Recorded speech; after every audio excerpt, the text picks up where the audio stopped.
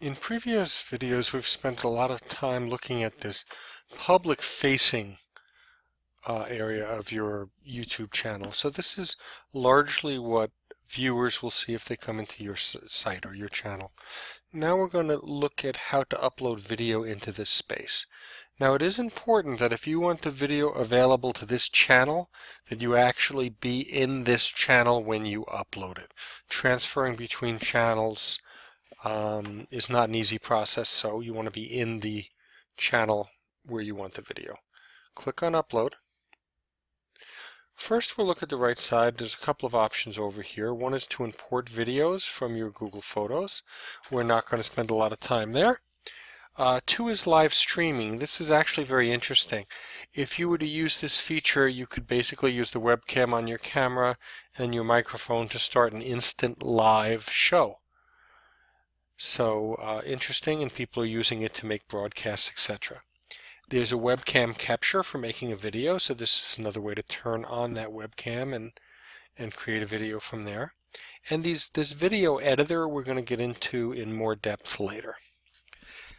Also, Photo Slideshow, we'll do a short video just on this. It's a somewhat limited uh, tool in that it only really does one thing, but it's very quick and easy to use, and it does do a nice job of taking uh, photos that you have and creating them as a video.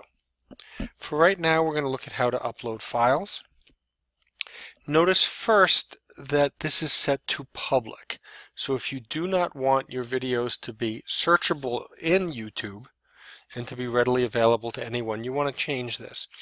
And if that's the case, you want to change it to unlisted. Unlisted would be videos that can basically be seen by anybody that has the link, but they're not going to be included in search results, so they would be very, very hard to find. Or you could actually make them private. Of course, if you do make them private, you have to individually share them with people, which is a pain in the neck if you have to share them with a lot of people. So I'm going to leave it as unlisted and then I'm going to click on it and it'll allow me to browse to wherever it is that I've deposited my uh, video files. So maybe here and here. Oh, there you go, video, and there's a bunch of video files in there. So to start with, I could click a single video file and say open and it will immediately start uploading the video. It's telling me, first of all, um, that it's 0% done, but it's already given me my link.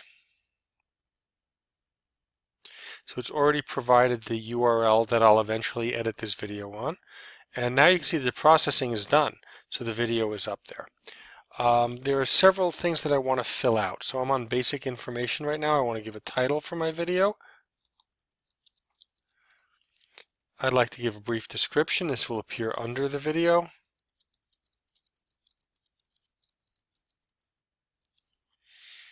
Um, but it gives the viewers a little bit of context as to what the video is about.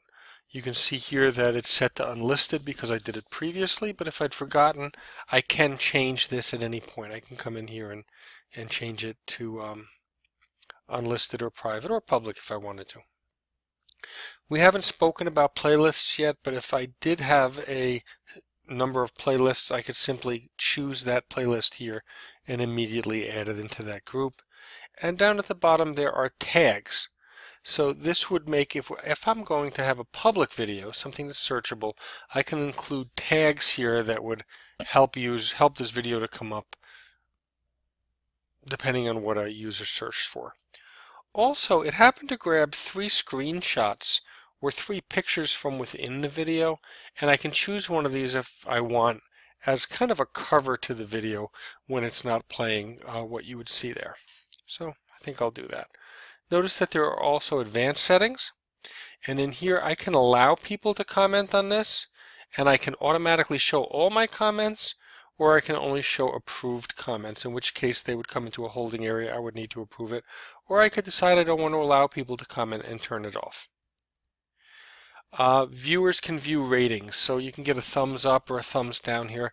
If I want viewers to be able to actually see that, I leave it checked, but if it's something I don't want available, I uncheck it. There are a couple of different types of licenses. The standard YouTube license is generally fine.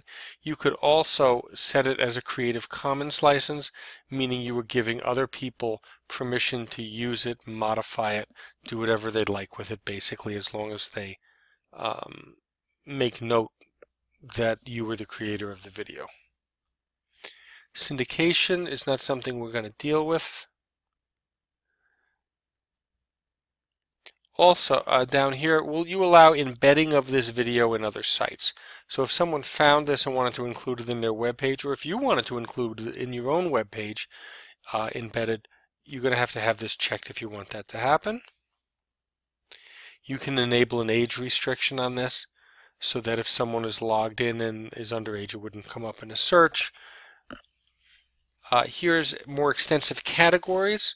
So I could choose a category to classify this by. Let's say it's an educational video. I can set the language in here if I choose. It's just a way to uh, add information to the video. Recording date so I could add the recording date by hitting today or I could come in there and I could simply pick the day that it was recorded on. Interesting uh, option over here, video statistics. So as this video is available to people, as people view it, uh, YouTube is going to collect that information and have it in the form of statistics that you can view and learn from, charts, etc.